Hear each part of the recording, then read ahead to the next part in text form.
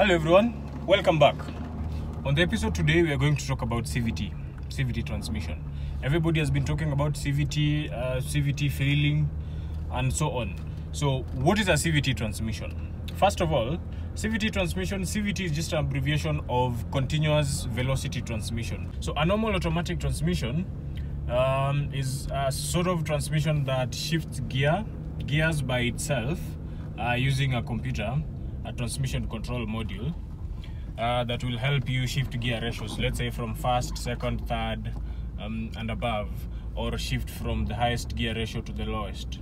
Uh, but then CVT, um, sometimes it's called a single shift transmission. So you don't have actual gear shifts.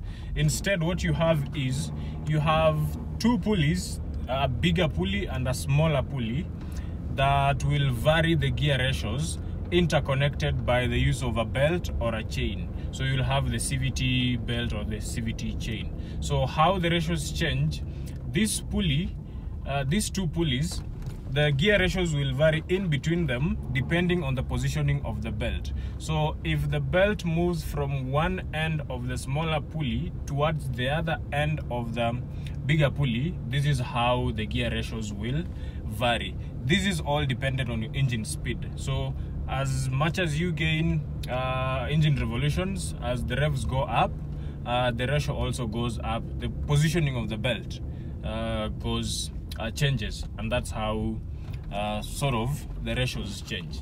But in the real sense, CVTs do not have actual gear teeth that would change ratios by moving from one gear to the other, as opposed to the traditional automatic gearbox transmission that has the planetary gear system uh, that will shift uh, gears in between. So you have a set of gears uh, as well as a set of clutch plates, uh, let's say like two per gear, that will help you shift gears. So uh, CVT does not really have that. So why do manufacturers use CVT? Manufacturers nowadays, especially JDM cars, they use CVT because CVT is um, it's light, uh, that is weight reduction. Also, CVT is um, very efficient. So CVT uh, doesn't allow a lot of power loss in terms of power delivery transfer from the engine transmission onto the ground so cvt ends up being efficient so the main reasons for the main the two main reasons for manufacturers using cvt is one uh, it's light then it's simple to make uh, as well as cheap and then two cvts are very efficient that's very economical. This is why you will find cvts only in small passenger cars. For example you'll find them in small cars like toyota yaris vitz you will find them in premios you'll find them in nissans uh, up to the um, small crossover suvs but then when you move into the next bracket of um, full size suvs you'll never find that size of a car using cvt uh, reason for that is what takes us to the disadvantages of CVT. So number one, uh, disadvantage for CVT number one is uh, CVTs do break.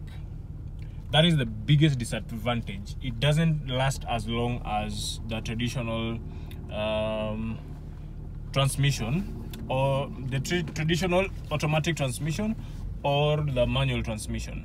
Why does CVT break? Things you need to do or things you shouldn't do with a CVT to help you save your CVT's life. So number one, if you have a car fitted with a CV, CVT transmission, and how do you know that your car is fitted with CVT? Uh, just simple. Uh, if your car has a rev counter, you can watch the revs as they go up if you notice that your revs when the car shifts gears the revs lower a bit and then start coming up then you have a normal automatic transmission. But for cvts you will not notice that.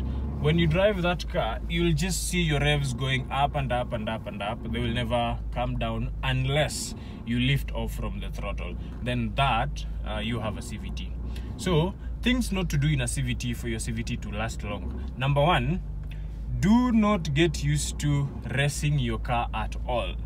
CVTs have never been made for uh, race cars or track cars because when you flow your car, you put a lot of stress on your CVT transmission, and because this is just a pulley and another pulley interconnected by a belt, and this belt does not have any teeth to hook onto, so chances of this belt slipping are quite high when you keep flooring your car. So number one, your car that has a CVT is not a race car. Do not floor it. Do not race other people on the road.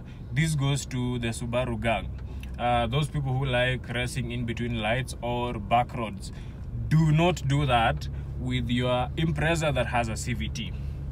Number two, do not uh, roll back your car and then engage uh, gears when the car is still in motion. Uh, this is to say, when you want to change direction, you've just reversed and then you want to go forward, you've made a turn. Make sure you come to a complete stop before you you change gears. This is also for the reason that CVT using that belt and that belt not having any teeth chances of the belt slipping are quite high when you move from one direction to the other when you move from reverse to forward to drive without having your car um, at a complete stop. Because when your car is rolling back then you engage reverse that means the whole weight of the entire car is going to that belt. Because that belt is going to drive you uh, forward when you are rolling back. So the entire weight of the car is just held by that belt that has no teeth to grab onto. And that is how the belt will slip and that is how you will start issues with um, cvt number three what you want to do with your cvt is you do not overload your car. Once you've noticed or once you've made sure your car has a cvt do not overload your car. Again this puts a lot of pressure on that belt. Cvt is all about that belt. That belt is what drives your transmission. That belt is what transfers the power onto the ground. So do not overload that car. You risk overheating the transmission. You risk the belt slipping. So what happens with overheating is the temperatures in the transmission will rise higher than the optimum operating temperature. And then definitely you will burn some clutch in it or you will just have the entire belt slipping or um, breaking. The other thing is learn or keep warming up your car before uh, you go on to hard driving it. So for example don't just switch on your car crank it jump in gear hard driving. No. Let your car roll a bit. As it warms up as much as the engine needs to come to operating temperature your transmission also needs to warm up. So do not just floor your car after starting it up in the morning. The other thing about the cvt transmission and probably the last thing that you would want to do to save your transmission is always keep up with the transmission service. So the biggest problem people do especially in um, africa these cars come to africa after they've been used they are used units for let's say five years been used in japan. So when they come the best thing to do is if you shipped the car find out if a full service was done. If not start with your own full service including the transmission. So do a gearbox flush uh, change the filters. When you're doing a gearbox flush the transmission oil is also a very sensitive fluid. Make sure you have the correct cvt fluid. For instance if you're driving a nissan or a subaru we have or a toyota we have cvt transmission for toyota. We have cvt transmission for mazda and so on and so forth. The other difference that comes is we have cvt transmission fluids that are rated for uh, specific uh, transmissions that have specific ranges of torque let's say cvt transmission that is used in a small passenger car like a demio or a toyota vitz uh, doesn't have the same properties like cvt transmission oil that is used in a toyota vanguard. There is a variance into these uh, two fluids. So make sure you visit a parts shop with your chassis number and also make sure that they give you the correct fluid for for your transmission that has come up from the search on your transmission on your car's chassis so if you do those things you take care of your transmission you'll never have problems Now, lastly, why do Nissan CVTs fail? For CVT to work, you also need to get to optimum temperature uh, for the transmission. For you to maintain that temperature, it means you need to have some cooling system. So in the event your transmission would uh, start uh, gaining temperature or temperature rising, you need to have a cooling system. So you need to have an oil cooler for your transmission. So why do Nissan CVTs fail? This is because the CVTs that were supplied to Nissan uh, from the year 2004 up to around 2013-14, uh, these transmissions came with um, a very small oil cooler for the transmission. That is a very small cvt cooling component.